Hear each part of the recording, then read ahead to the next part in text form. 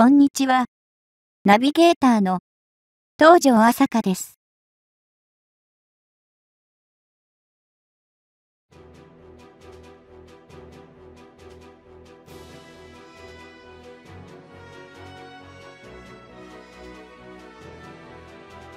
日本の主力戦闘機となる F35A ステルス戦闘機。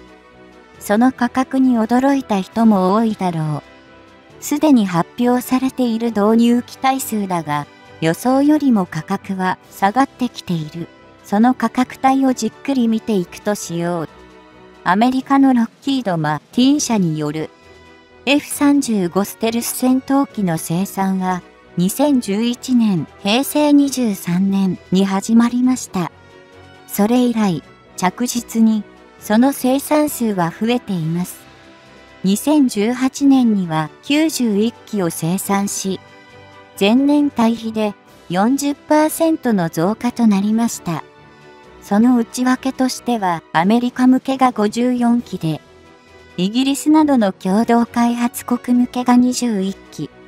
日本などの FMS、対外優勝軍事援助優勝で、アメリカ製の兵器を取得したり、軍事訓練を受けることができる国向けが16機となっています。ロッキード・マッティン社の発表では、F35 の生産は順調に推移し、初期に比べるとコストや生産期間も短縮され、年を追うごとに量産効果が確実に現れてきているということです。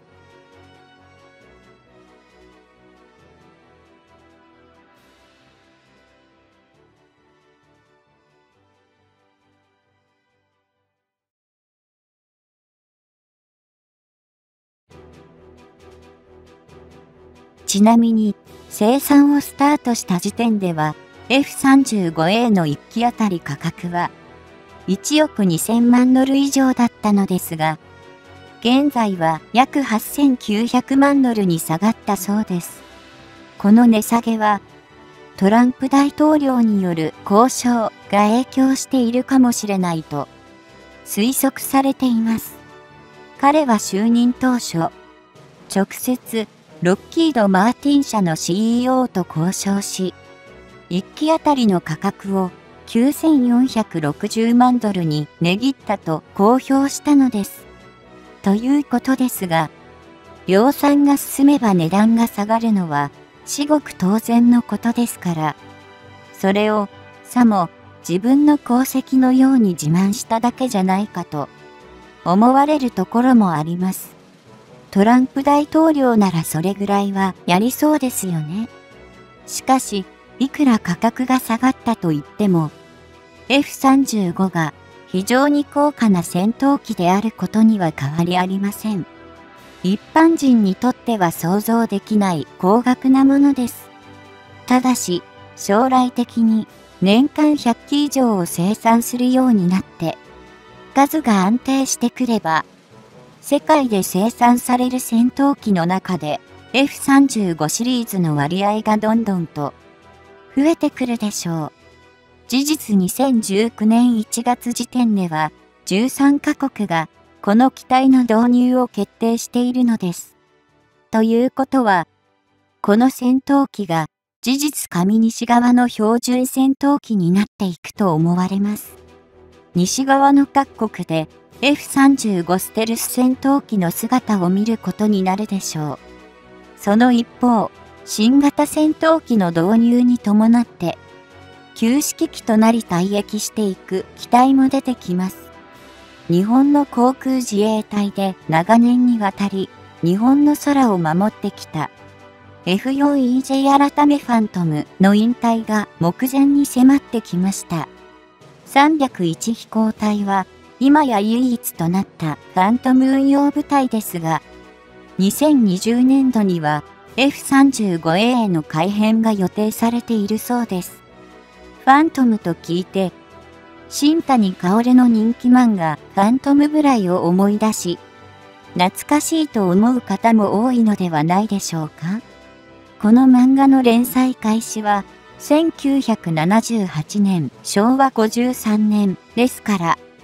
もう40年以上の前になります。それを考えると、ファントムよ、これまでよく頑張って働いてくれたとねぎらってやりたくなりますね。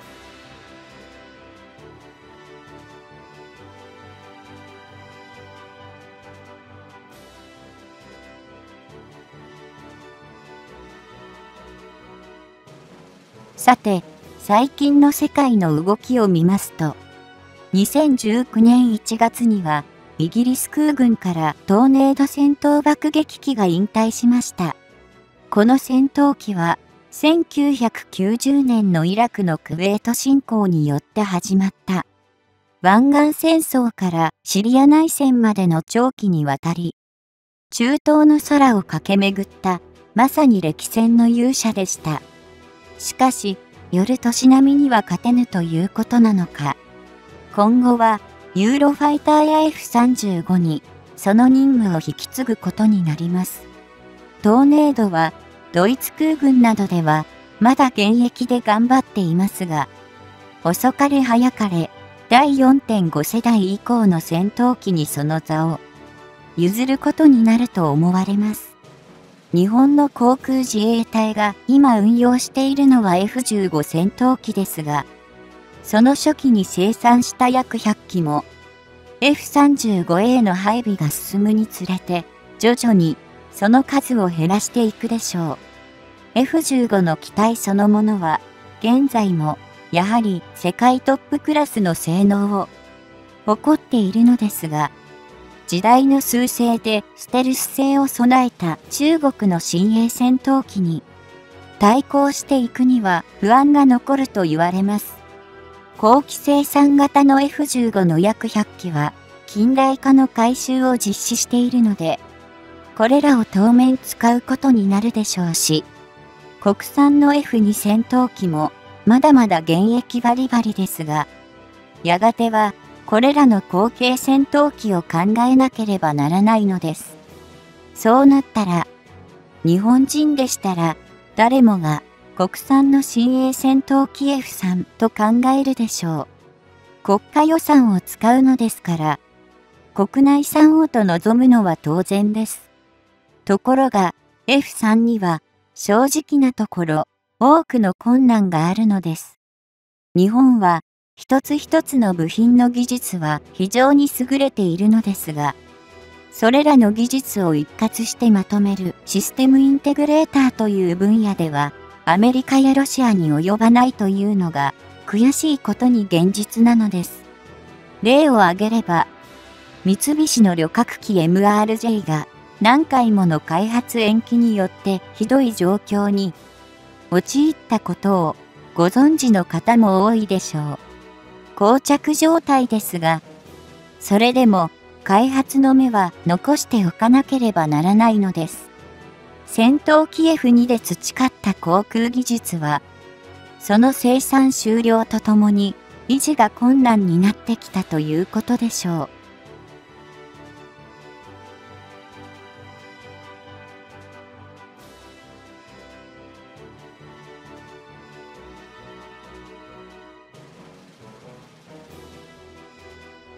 これは戦闘機や航空機に限りません。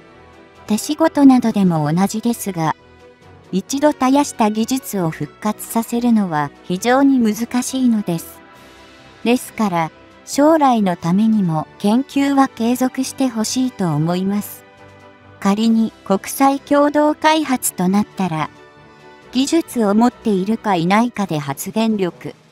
影響力に大きな差が出てくることは間違いありません。ここでもう一つ押さえておくべきポイントがあります。それは、無人戦闘機の時代が到来するかもしれない。ということです。ここ数年の IT の発展は、目覚ましいものがありますね。高齢者の運転事故多発により、自動車の自動運転が注目されていますが、自動車だけではなくなる可能性があります。戦闘機や戦車を人間ではなく AI が操縦する日が訪れるかもしれないのです。自動車業界にソフトウェア産業である Apple や Google が参入してきたように、軍事分野にもこれらが参入してくる可能性は大いにあります。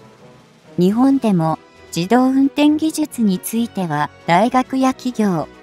自治体なども様々な実証実験をしていますが、